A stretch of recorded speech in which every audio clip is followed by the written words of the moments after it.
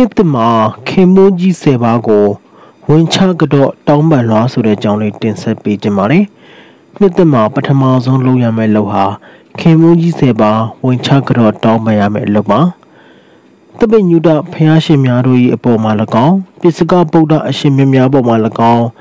အင်္ဂတဝကအရှင်မြတ်များပေါ်မှာ၎င်းယဟန္တာအရှင်မြတ်တို့အပေါ်မှာ၎င်း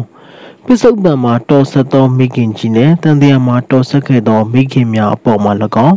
ပစ္စုပန်မှာတော်ဆက်တဲ့ဖခင်ကြီးနှင့်တန်တရားမှာတော်ဆက်ခဲ့တဲ့ဖခင်များအပေါ်မှာ၎င်းတရားအသည့်ထူရအောင်ဟောပြောပေးသောလောကုတ္တရာဆရာသမားများအပေါ်မှာ၎င်း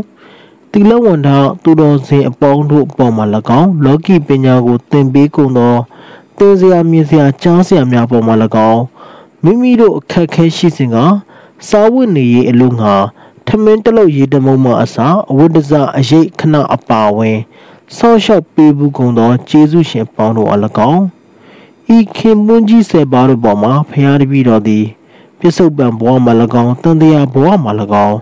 သိ၍ဖြစ်စေမသိ၍ဖြစ်စေကာယကံဝစီကမနောကံတဘာဘာသောကံတို့နှင့်ပြစ်မှားကျူးလွန်ကြံစီပြုလုပ်မိခြင်းသိရှိပါကနားလေစွာနဲ့ဝန်ခံပါတယ်ဝန်ချပါတယ်တောင်းပန်ပါတယ်ကြော့ပါတယ် မိမိပေါ်မှာကာယကံဝစီကမနောကံတဘာဘာနဲ့ဖြစ်စေကံသုံးပါးလုံးနဲ့ဖြစ်စေပြစ်မှားသူတွေပေါ်မှာလည်းမိမိမှတိခံခွင့်လွတ်ကြည်အေးပါ၏စိတ်ချမ်းသာကိုချမ်းသာရှိကြပါစေဒီကုသိုလ်စေတနာကြောင့်စိုးကြိုးပေးစေစိုးကြိုးပေးလက်တန့်သောအကုသိုလ်မှန်သမျှအနန္တဟာပိန်းကြဖက်မှရှိမတင်ရှောကြပေးတဲ့ကဲ့သို့ကင်းစင်လွင်ပြောက်မထီရောက်တော့ပဲကောင်းကျိုးအနန္တ ဖြစ်ထွန်းရပါလို့ဤမြတ်စွာဘုရားလို့ဆုတောင်းမှာ၃ကြိမ်ဆုတောင်းမှာဖြစ်ပါတယ်။ကောင်းကျိုးအနန္တဖြစ်ထွန်းရ၍အာထုတ်ဆဲအာထုတ်လက်တန့်သော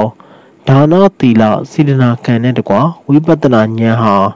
မဉဏ်သို့ကျေးဇူးပြုပြီးနိဗ္ဗာန်ကိုမျက်မှောက်ပြုရပါလို့ဤအရှင်ဘုရားလောကမှာမပြစ်မှားထိုက်တဲ့ခင်မုန်းကြီးဆယ်ပါးကိုပြစ်မှားမိခဲ့ရင် ဘေးတန်တဲ့ရဟန်းတော်ဖြစ်တတ်ပြီးစီးပွားပြတ်ခြင်းတရားအားထုတ်ပေမဲ့တရားရခံဒီမှာအထိတ်တလန့်ဖြစ်လို့ရင်တမောမောဖြစ်ရပြီးတရားမရပဲဖြစ်နေတတ်ခြင်းမတ်တာဖို့တာအန္တရာယ်မှန်သမျှကင်းဝေးစေဖို့စိတ်တန်ပြီးနေ့စဉ်ရွတ်ဖတ်ခြင်းတရားအားထုတ်ခံဒီရွတ်ဖတ်ခြင်းနောက်ပြီးတော့မိမိကြောင့်တပါးသောပုဂ္ဂိုလ်တို့အန္တရာယ်ပြုခြင်းမှကင်းဝေးစေကြောင်းမေတ္တာလောင်းပြီးရှေးရိယ သူတော်ကောင်းတို့ကမိန်တော်မူခဲ့ပါတယ်။ကဲနှစ်သက်မှာ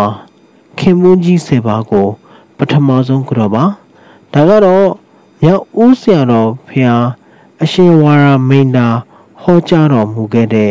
တရားတော်ကိုဓမ္မဒါနပြုခြင်းဖြစ်ပါတယ်။နားဆင်ပေးတဲ့အတွက်ကျေးဇူးပါဗျာ။